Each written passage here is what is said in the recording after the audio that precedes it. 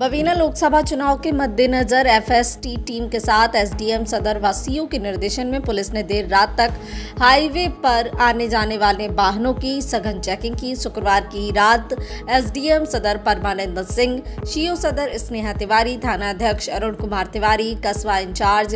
SI Sarvesh Singh SI Ranjit Singh constable Vijay Singh Sailan Tiwari Arvind Kumar T team के साथ highway पर देर रात तक आने जाने वाले वाहनों की सघन चेकिंग की इस दौरान चार पहिया वाहनों की डिग्गी खुलवाकर उनकी तलाशी ली गई दोपहिया वाहन चलाने वाले चालक तो पुलिस को देखकर गाड़ी मोड़कर भाग निकले बबीना से विजय वर्मा के साथ प्रदीप यादव की रिपोर्ट